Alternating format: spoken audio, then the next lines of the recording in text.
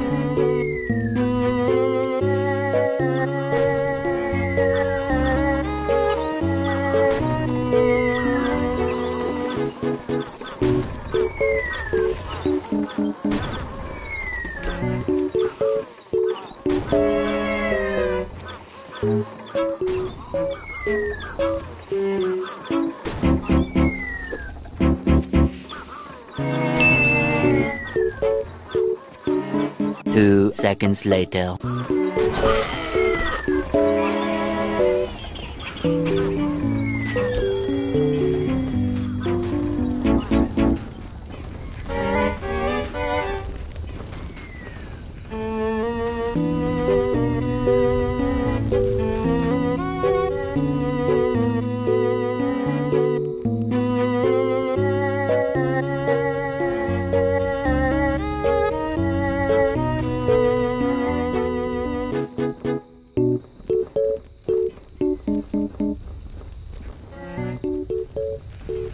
Thank you.